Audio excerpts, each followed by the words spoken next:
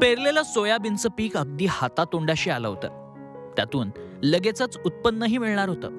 मात्र बुलढाणा जिल्ह्यात अवकाळी पावसानं सगळं पीक धुवून काढलं. बघितलेली स्वप्न डोळ्या देखत मातीमोल झाली आणि शेकडो शेतकऱ्यांची तीच वेदना कळवद इथला तरुण शेतकरी कैलास महामुने याच्याकडून पहिल्यांदाच कवितेच्या रूपात कागदावर उमटली. सुडीचा आकांत नावाची कैलास महामुनेची ही पहिली वहिली कविता उस्मानाबादमध्ये बारा जानेवारीला त्र्याण्णव्या अखिल भारतीय मराठी साहित्य संमेलनात कवी कट्ट्यात सादर केली जाणार आहे. परतीचा पाऊस आला आणि अनेक शेतकऱ्यांचं नुकसान केलं.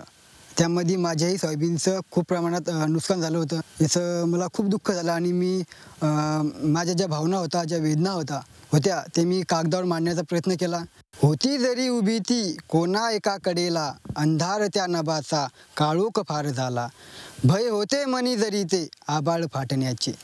भय होते मनी जरी जे आभाळ फाटण्याचे येई धीर तिला मग त्या अंगावरल्या छताचे. होते कधी जे हात या डोक्यावर. समशेर घेतली त्याने आज तिच्या या शिरावर. आकांत हा जीवाचा कल्लोळ फार झाला. डोळ्या देखत सुडीचा वाहिला जवा पसारा. डोळ्या देखत सोडीचा वाहिला जवा पसारा. कैलास महामुने या तरुण शेतकऱ्याची ही कविता असंख्य शेतकऱ्यांच्या व्यथा आणि वेदना मांडणारी असल्यानं ती खऱ्या अर्थानं शेतकरी वर्गाचं प्रतिनिधित्व करणारी आहे. उपेक्षितांची तळमळ त्यांची वेदना मांडणारा कवी कैलास महामुने हा खऱ्या अर्थानं शेतकऱ्यांचा आयडॉल आहे. मयूर निकम झी चोवीस तास बुलढाणा.